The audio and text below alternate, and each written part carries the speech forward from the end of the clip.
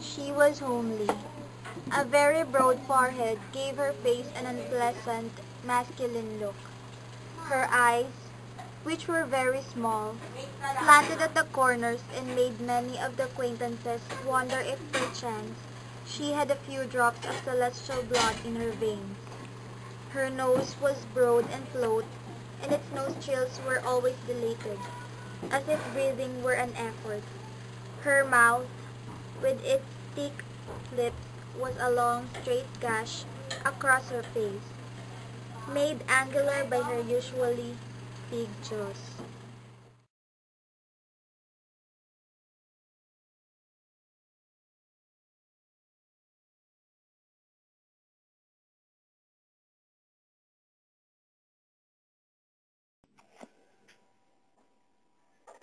But nature, as if ashamed of her meanness in fashioning the face, molded a body of unusual beauty. From her neck to her small feet, she was perfect. Her bust was full, and her breast rose up like twin roses in full bloom.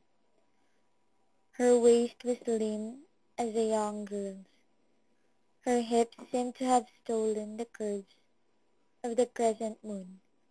Her arms were shapely ending in the small hands with fine, tapering fingers that were the envy of her friends. Her legs, with their trim ankles, reminded one of those lifeless things seen in shop windows displaying the latest silk stockings.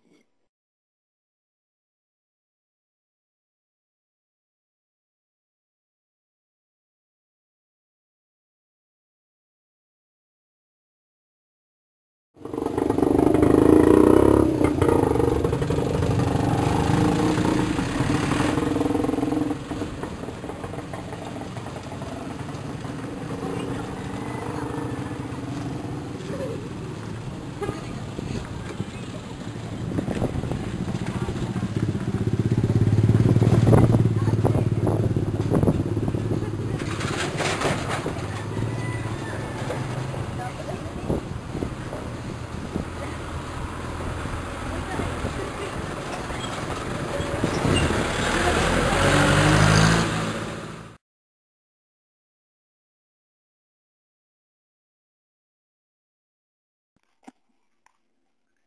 Here was a body, a sculptor, a thirst for glory, might have dreamed of and molded in a feverish frenzy of creation, with hands that tremble, with a vision of the fame in store for him.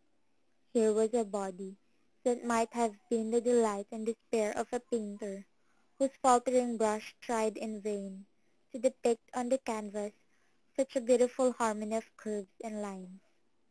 Here was a body a poet might have raved over the immortalized in musical, fanciful verses.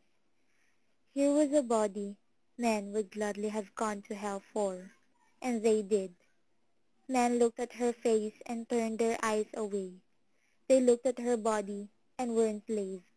They forgot the top-bored masculine forehead, the small eyes that slanted at the corners, the unpleasant mouth, the aggressive jaws, all they had eyes for was that body, those hips that had stolen the curve of the crescent moon.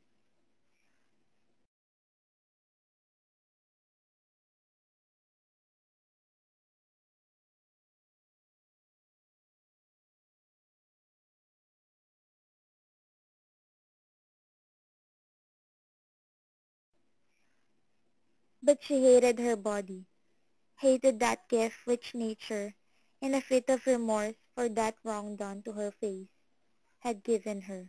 She hated her body because it made men look at her with an unpleasant light in their eyes. Married eyes, single eyes. She wanted love, was starved for it. But she did not want the love that her body inspired in men. She wanted something purer, cleaner. She was disgusted and hurt, for men told other women that they loved them, looking deep into their eyes to souls beneath, their voice low and soft, their voices quivering eight in weight of their tenderness.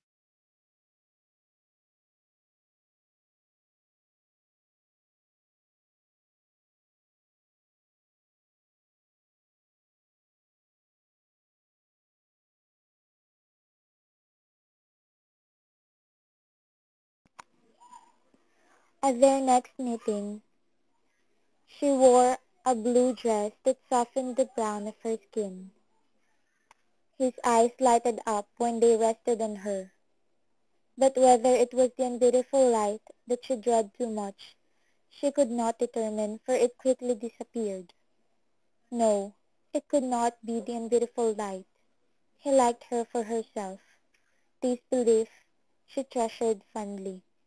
They visited a little house out of the way, near a chapel by the roadside where naked men, nailed to cross, looked at them with eyes which held all the tragedy and the sorrow of the world for the sins of sinning men.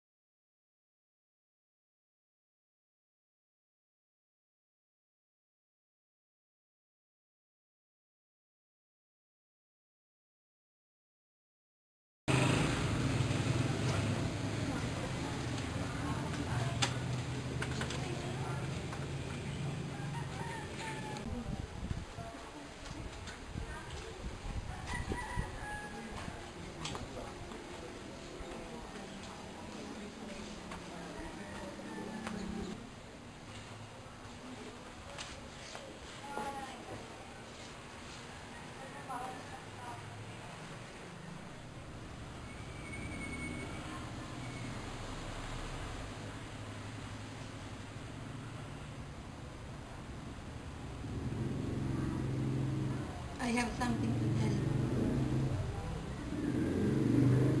I love.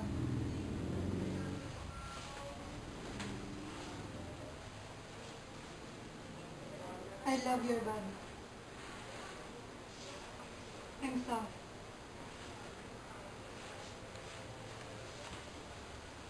Wait! You have just been yourself, like other men.